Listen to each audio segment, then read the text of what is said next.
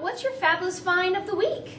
So, if you liked Strange Case of Origami Yoda, Ramona the Pest, or Calvin Coconut, then I'm re- recommending for you The Lemonade War. And it's a brown book.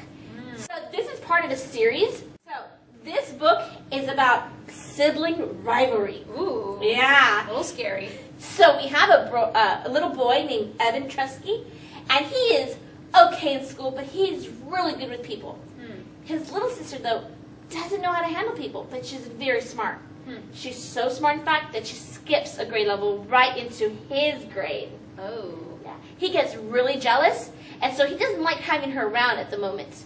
So one day, he decides to open up a lemonade stand with his friend. She wants to help him out. He says no.